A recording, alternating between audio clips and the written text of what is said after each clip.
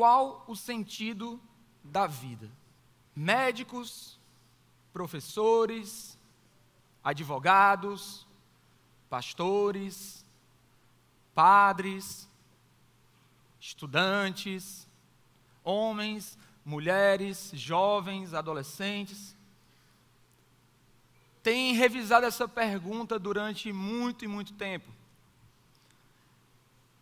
Na realidade, eu acredito que essa é uma das perguntas mais perguntadas para ninguém, mas senão para nós mesmos. Gerações e gerações elas têm se levantado e se perguntado: qual o sentido da minha vida? Qual o propósito da minha existência? Qual o significado que eu tenho no meio de tudo isso que acontece no mundo, no meio de tantas pessoas que estão ao meu redor? Eu, simplesmente eu, um ser único, individual, um ser que tem sua personalidade, tem sua maneira de ser, tem a sua maneira de existir. E essa dúvida e essa pergunta, esse questionamento, ele realmente ele está pairando no ar na vida de muitas pessoas. O, o, o que é fato, na realidade, é que nós sempre estamos procurando esse sentido. Na realidade, nós temos essa sede de significado. Nós temos essa sede de encontrar um propósito, de encontrar um sentido para a nossa vida. É tanto que, se você parar para pensar, nós procuramos sentido em todas as coisas. Nós praticamos a, a, a, o ato de nomificar coisas. Falamos que cadeira é cadeira, chão é chão, caixa de som é caixa de som. Falamos que homem é homem, mulher é mulher. E nós estamos procurando sentido em todas essas coisas.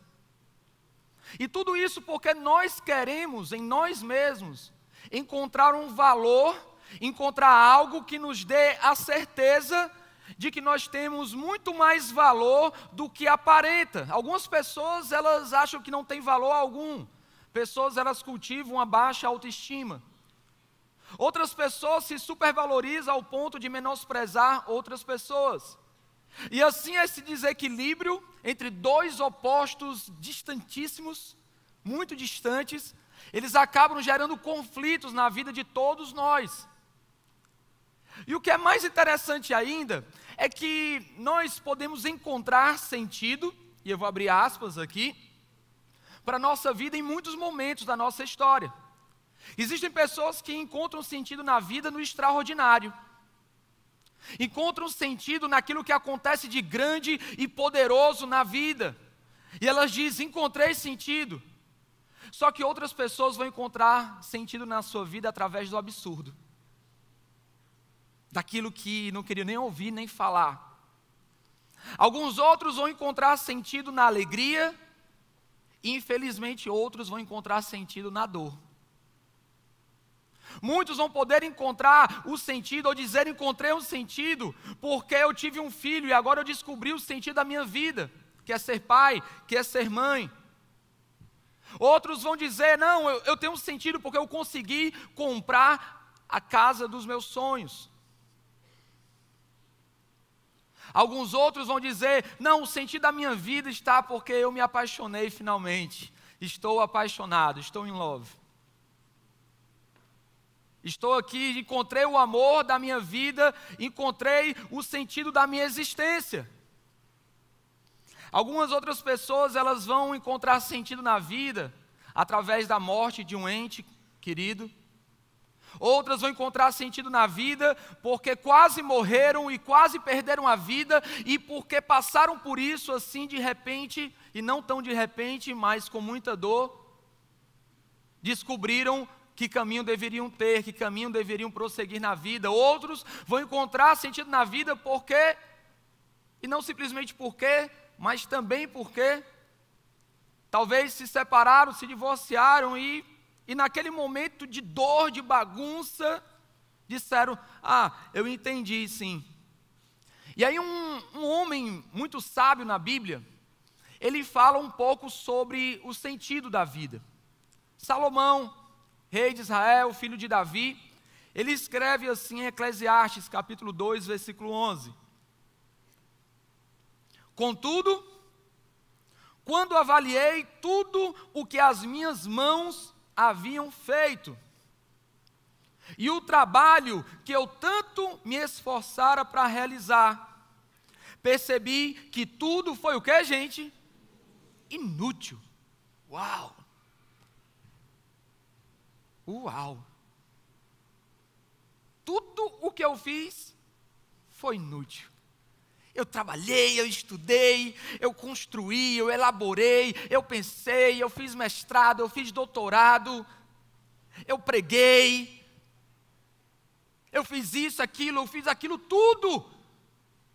E ele para ali e diz assim, cara, todo o trabalho que eu fiz, todo o esforço que eu tive, foi inútil. Ele continua dizendo: foi inútil, foi correr atrás do vento. Não há qualquer proveito no que se faz debaixo do sol. E aqui Salomão ele parece um pouco depressivo mas eu chamo muito mais reflexivo. E eu acho, eu acredito que isso é um bem que todos nós deveríamos ter, o ato de refletir, de olhar para dentro de nós e descobrir o que é que está acontecendo de verdade. Fala comigo assim, de verdade. De verdade.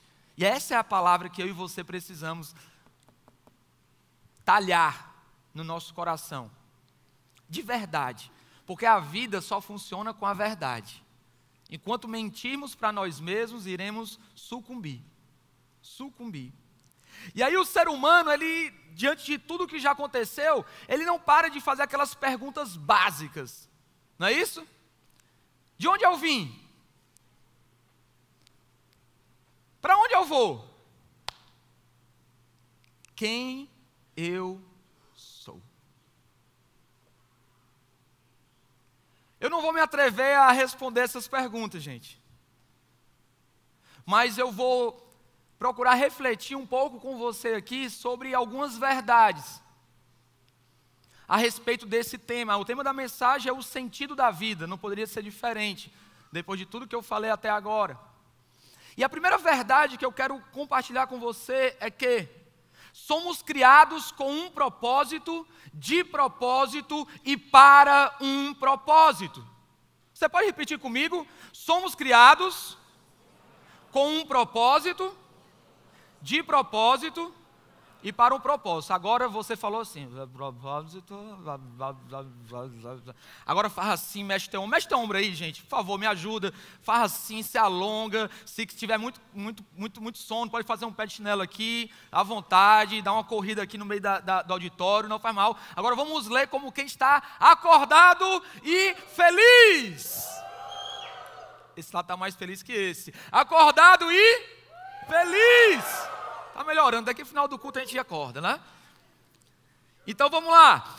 Somos criados com um propósito, de propósito e para um propósito. Tudo o que é criado ou produzido tem um propósito específico nessa terra. Tudo, tudo, fala comigo assim, tudo. Tudo tem um significado de ser e existir. E a palavra de Deus ela diz que eu e você fomos criados à imagem e semelhança de Deus. Deus, ele nos criou, ele nos sonhou, ele nos projetou, ele nos fez, nos criou ali do barro, soprou o seu fôlego de vida dentro da gente e nos fez como nós somos.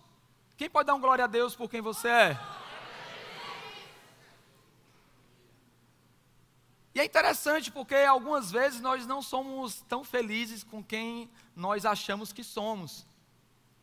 Mas eu quero dizer para você que é bom você ser muito feliz com quem você é, porque Deus te fez com um propósito, para um propósito e de propósito. Você é importante. E aí eu parei para me perguntar e disse assim: Poxa, Jorge, como é que eu vou saber o meu propósito?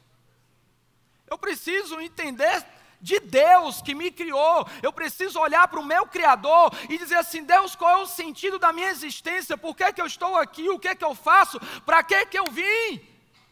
E aí isso me fez lembrar de uma história.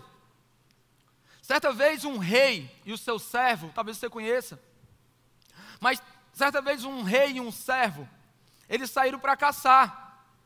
E esse servo, ele era um, um, um, cara muito temente a Deus, e esse rei, ele não acreditava na bondade de Deus. E esse servo sempre falava assim: Meu rei, Deus faz tudo perfeito, Deus, ele é bom em tudo o que faz. E eles saíram para caçar nesse dia, e uma fera os atacou, foi em cima do rei, o servo ainda conseguiu matar aquela fera, só que não conseguiu impedir que um dos dedos dele fosse arrancado. Aquele rei volta para o seu reinado ali, chateado, e o servo vira para ele, ele sem já um dedo, e diz assim: Meu rei, Deus faz tudo perfeito, Deus é bom, muito bom em tudo o que faz. Aquele rei ficou com raiva do servo e mandou prender aquele servo. Depois de um tempo recuperado ali da sua mão, ele resolve caçar novamente. E quando ele vai caçar, ele é capturado por selvagens. Aqueles selvagens olham para o rei e dizem assim: vamos sacrificá-lo em homenagem aos nossos deuses. Quando tudo estava pronto para poder sacrificar aquele rei, eles olharam e viram que lhe faltava um dedo. E eles disseram: Esse homem não é perfeito para o sacrifício. Vamos soltá-lo. Aquele rei, ele volta morto de feliz e falando: Deus é perfeito, Deus é bom, Deus é muito bom naquilo que ele faz. Ele chega em seu reinado, manda soltar o seu servo e diz assim: Meu servo, me explica aqui uma coisa. Deus é muito bom em tudo que faz, mas me explica, como pode Deus ter deixado eu te prender, se você sempre o defendeu? E ele falou assim: Meu rei se eu tivesse ido com você, eu teria sido sacrificado no seu lugar. Ou seja, gente, tudo em nossa vida tem algo que é para existir. Eu acho lindo porque quando nós olhamos o que fala em Salmo 139, versículo 15 e 16, nós vemos o poder de Deus que diz assim: Meus ossos não estavam escondidos de ti quando em secreto fui formado e entretecido como nas profundezas da terra. Os teus olhos viram o meu embrião. Todos os dias determinados para mim foram escritos no teu livro antes de qualquer deles existir. Deixa eu falar algo para você tudo. Fala comigo assim, tudo. tudo. Faz assim, ó, fala, levanta a mão, você fala assim, tudo. Tudo, tudo, tudo, tudo, tudo em você tem um sentido porque você foi criado de propósito, com um propósito e para um propósito. A cor do teu cabelo, a cor da tua pele, o local onde você nasceu, a tua personalidade, o teu modo de ser, as tuas características pessoais, até mesmo aquilo que parece não tão bom em você, ele irá servir para alguma coisa em teu futuro. Até aquilo que você julga detestar e até aquilo que você julga não gostar, isso vai ser usado para o teu bem, porque você foi feito individualmente por Deus porque Deus ele tem um propósito para a sua vida, ele te fez com propósito e ele te fez para um propósito. Tudo existe. E João ele fala assim, João 1:3, todas as coisas foram feitas por intermédio de quem? De Deus. Sem Deus, nada do que existe teria sido feito. E aí deixa uma pergunta aqui. Qual o seu propósito de vida? Para para pensar, qual é o teu propósito de vida? A segunda verdade que eu quero falar hoje é: a vida não tem sentido. Nós é que damos sentido à vida. A vida por si só, ela não tem sentido. A vida por si só, existindo por ela mesma, não vai ter sentido. Porque para ter sentido, nós todos precisaríamos ser iguais. Mas eu e você podemos sim dar sentido a essa vida. Um professor de literatura e de mitologia também, Joseph Campbell. Ele escreveu o seguinte: a vida não tem significado. Cada um de nós tem significado. E nós o trazemos à vida. É um desperdício fazer a pergunta quando você é a resposta.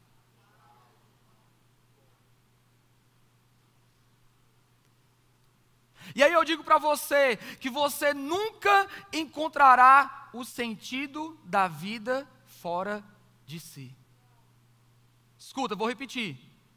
Você nunca encontrará o sentido da sua vida fora de ti, de si mesmo. E aí eu queria trazer algumas imagens. Estão aí as imagens? Lança a primeira imagem.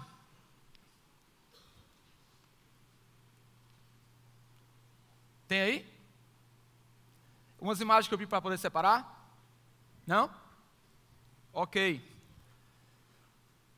Mas aí o que eu queria falar com as imagens, dá um glória a Deus. Que não tem imagem.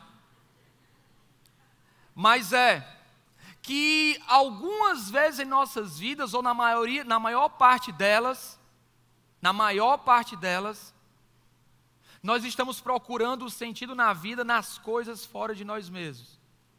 Pessoas têm procurado o sentido da sua vida no dinheiro. E o dinheiro, ele tem sido a sua mola propulsora da vida.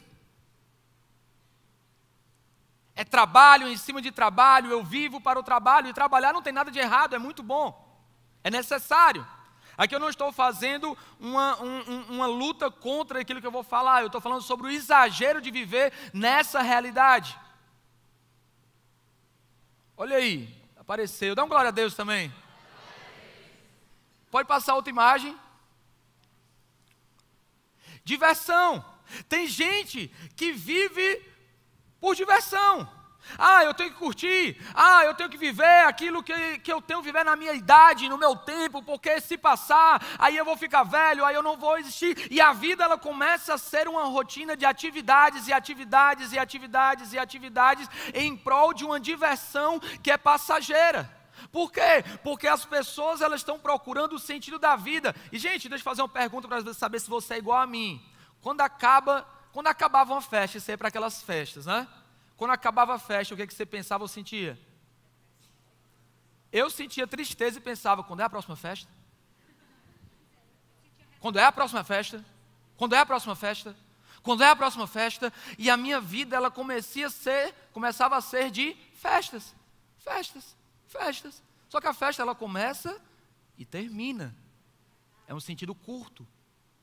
A outra imagem, lança aí. Poder. Poder.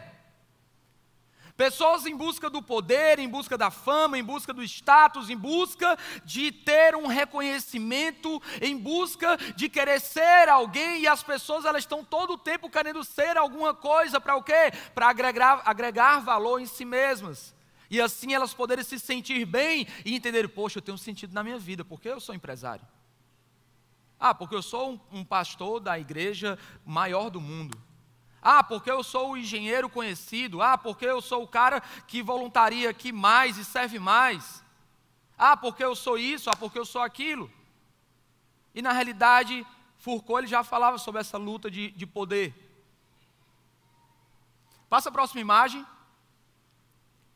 Sexo.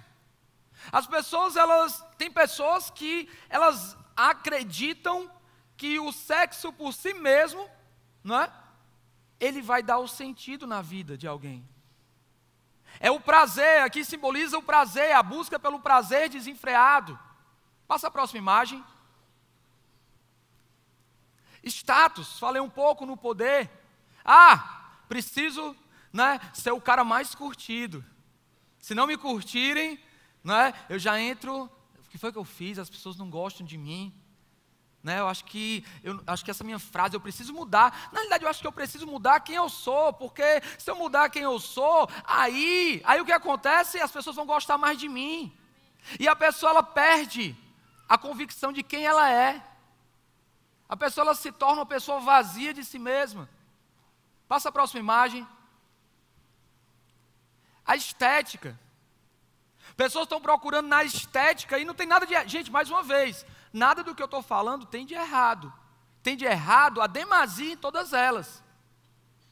A estética onde eu vivo para isso, por isso e com isso. Mas passa outro ponto. Acabou? Ok. E aí, eu deixo a pergunta para você. Nesse entendimento que a vida não tem sentido nela mesma, mas nós é que damos sentido à vida, a minha pergunta é: onde você tem buscado o sentido da sua vida? Você parou para para pensar um pouquinho, aonde é que você tem buscado o sentido de viver? Aonde é que você tem depositado o teu coração? Aonde é que você tem buscado realmente aquele sentimento de existir, de dizer, poxa, eu sou pleno, eu sou abundante, eu tenho é, é, é, é vida. Aonde é que você tem buscado esse sentido de vida? Terceiro ponto. O ser humano foi criado para a eternidade. Fala comigo assim, eternidade. eternidade. Não, mas fala assim mais forte, eternidade. eternidade. Algumas pessoas se assombram com essa palavra, outras pessoas ficam alegres.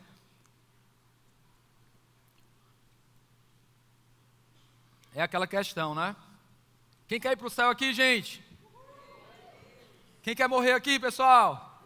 Ninguém, ninguém quer morrer, mas todo mundo quer ir para o céu, vamos ser arrebatados. Amém?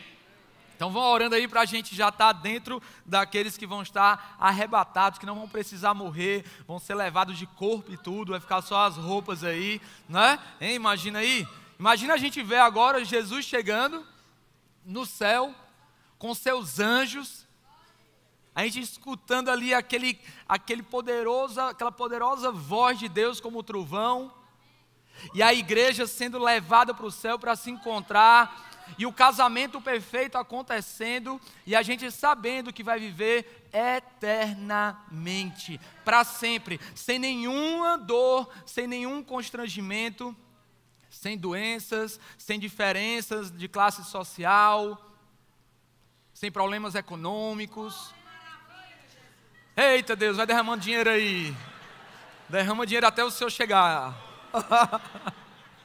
Quem recebe o dinheiro fala assim: Oita, xaramachaia. O negócio aqui é poderoso. O negócio aqui. Já a gente vai fazer um efeito especial aqui, caindo as folhas aí, verdes. Não é da árvore, gente, ah, folhas verdes. Mas aí, é interessante perceber que alguém certamente falou, alguém falou uma vez assim: a vida aqui na terra é apenas um parêntese na eternidade. A vida aqui na terra é apenas um parêntese. É apenas um pequeno espaço em meio a uma linha tão longa de tempo. E aí eu trago para você uma reflexão do que Pedro, ele fala. Em 1 Pedro 1, 24, 25, ele diz assim: Pois toda a humanidade é como o quê? A relva. 1 Pedro 1, 24 e toda a sua glória como a flor da relva. A relva murcha e cai a sua flor, mas a palavra do Senhor permanece para sempre. Essa é a palavra que lhes foi anunciada. Tudo é passageiro e tudo é como o vento que passa. Para para pensar um pouquinho na tua vida. Quantas coisas já passaram por ti? Quantas pessoas passaram por você? Quantos sentimentos também já foram embora? Quantas coisas ruins já foram embora? Mas quantas coisas boas também foram embora? E quando a gente para para pensar nisso e entender que o homem foi criado para a eternidade, a gente precisa entender que a vida ela oferece muitas coisas. Gente, a vida ela oferece muitas coisas para a gente. E nós somos sim tentados, nós somos seduzidos a viver uma vida focada no aqui, nesse agora. Nós somos tentados a imaginar como se esse tempo ele fosse eterno. Por quê? Porque nós somos criados para a eternidade. Nós vivemos aqui na terra acreditando que esse tempo ele nunca vai passar. E quando nós somos lembrados, muitas vezes em um velório, muitas vezes com uma doença, muitas vezes com alguma coisa que aconteceu de grave e quase propiciou uma, uma, uma, um acabar da história de alguém ou de si mesmo.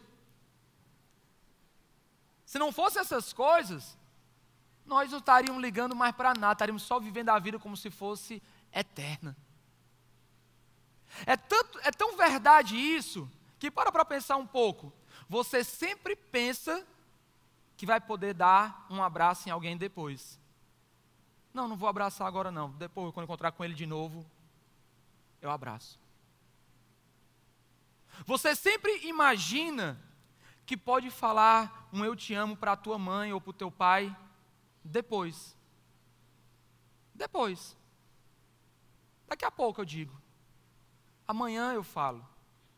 Daqui a um ano, eu talvez eu, eu peça perdão. Olha como nós, muitas e muitas e inúmeras vezes, estamos postergando, adiando, protelando, procrastinando coisas que éramos para fazer hoje. E tudo isso por causa de um entendimento errado de um entendimento de que achamos que esse tempo presente, ele é para sempre. E querido, deixa eu falar uma coisa para ti, esse tempo vai passar. O tempo aqui na terra, ele é passageiro.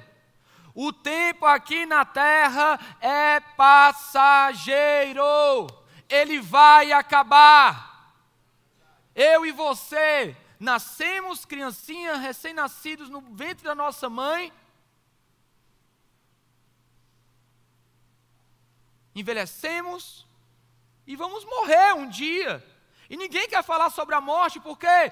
Porque nós temos a mentalidade da eternidade. Por quê, Jorge? Porque nós fomos criados para a eternidade. Dentro da gente tem algo que sabe que a gente é de eterno.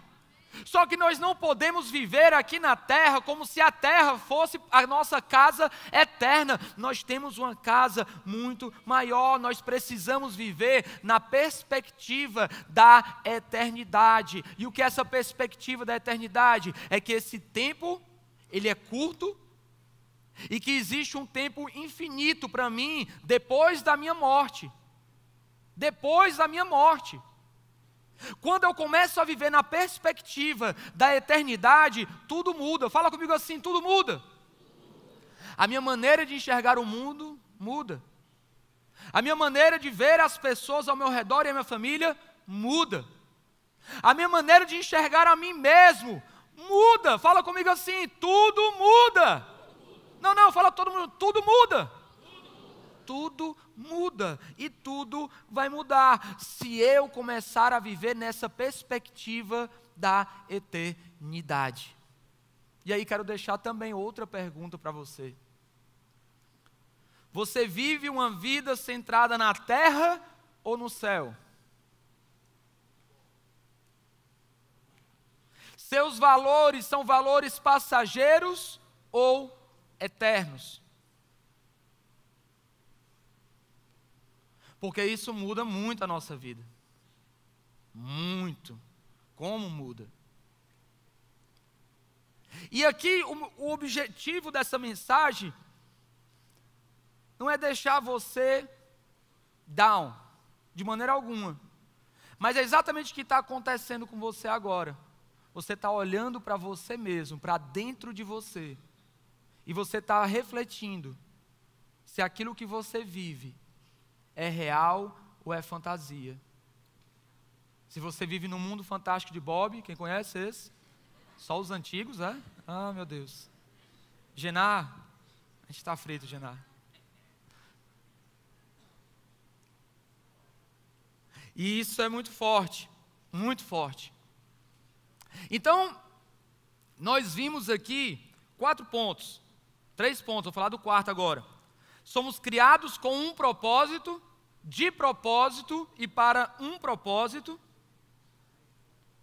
A vida não tem sentido, nós é que damos sentido à vida.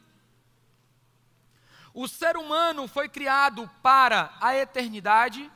E por fim, a quarta verdade fala que o sentido da vida é Cristo. O sentido da vida é Cristo. Eu gosto muito de estudar, sabe, gente? E essa parte de psicologia, essa parte mais científica também gosto muito. E por sempre estar lendo, eu vejo algumas perspectivas diferentes. Não concordo com todas, mas leio e, e, e absorvo aquilo que preciso, tenho conhecimento daquilo. E é interessante porque no tempo pós-moderno que nós vivemos, ah, os cientistas, né, as, os estudiosos, eles já não mais querem definir por si mesmo o sentido da vida. O sentido da vida, trazer uma definição para isso, de significado. É? Mas eles trazem uma definição, depois de tantas definições que surgiram no passado, que compilando, eu quero ler para você. Eles falam o seguinte, sobre o que é o sentido da vida. Não sabemos exatamente de onde vem o significado ou o sentido da vida. Se é inerente, ou seja, se está dentro da gente, ou se é real. O que eles querem dizer com isso está fora, né? aquilo que eu busco. O que sabemos é que os seres humanos florescem quando têm esse sentido de vida e que sofrem quando não o fazem. Eu achei muito interessante isso, porque Paulo, ele fala em Filipenses 1, 21 e 23. 21 a 23. Ele fala assim: Porque para mim, o que é, gente? O viver é. Você pode falar? Porque para mim o viver é Cristo e o morrer é lucro. Caso continue vivendo no corpo, terei fruto do meu trabalho e já não sei o que escolher. Estou pressionado dos dois lados. Desejo partir e estar com Cristo, o que é muito melhor. E aí essa carta, ela foi é uma das cartas mais íntimas que Paulo escreveu. Na realidade, escreveu ao, a, a, igreja de, Fili, de Filipos, né, uma, é, é, é, essa igreja foi a, a, primeira da Europa, né, o berço ali da igreja. E Paulo ele fala que existe dois sentidos na vida o sentido terreno e o sentido espiritual. Só que ele fala que ele valoriza e reconhece Cristo como o sentido da sua vida. Um cara que perseguiu Cristo, um cara que matou, um cara que simplesmente fez muitas coisas contra o cristianismo. Um dia ele conhece Jesus, ele fala: ei, ei, ei, o sentido da minha vida não está na lei, não está nas pessoas, não está nas coisas ao meu redor, não está nos meus próprios sentimentos e muito menos no intelectual. O sentido da minha vida está em entender que Cristo ele é a resposta de todas as minhas perguntas. Tudo que você pergunta hoje, só vai ter encontrar sentido em Cristo. Você pode ser o maior cientista do mundo sentado aqui. E você vai se questionar, porque o trabalho do cientista é se questionar. É questionar o problema. E você sempre vai perguntar: por quê? Por quê? Por quê? Por quê? E você nunca vai encontrar a resposta absoluta. Mas uma coisa eu sei, que Cristo, ele também teve um sentido na vida. Qual foi o sentido da vida de Cristo, de Jesus? Ele também tem, teve sentido, tem sentido. E a palavra de Deus fala assim em João 6,38. Pois, palavras de Jesus, pois desci do céu, não para fazer a minha vontade, mas para fazer a vontade daquele que me enviou. E esta é a vontade daquele que me enviou, ao sentido da vida de Jesus, que eu não perca nenhum do que ele me deu, nenhum dos que ele me deu, mas os ressuscite no último dia.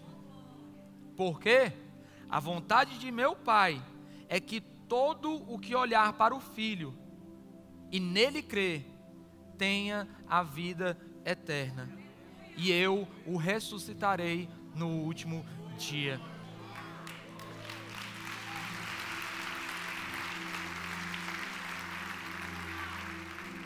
Jesus ele tem um sentido da vida. O sentido da vida é nos dar o sentido da vida. Esse é o sentido da vida de Jesus.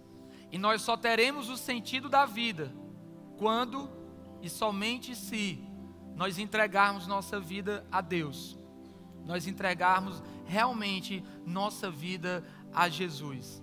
Não como uma religião e não como uma prática de, de atos vazios por si mesmos. Não. Mas quando eu entender que eu fui feito para a eternidade, quando eu entender que o sentido da vida, ele é Cristo, quando eu entender, olha aqui para mim, quando eu entender que eu posso buscar tudo no mundo, eu não sei você, mas eu procurei resposta, gente. Eu já fui ateu. Eu já fui ateu. Pelo menos dizia que era, né? Queria explicar tudo pela ciência também, pela psicologia. Eu procurei o sentido da minha vida nas mulheres, no trabalho, no estudo. Amo estudar.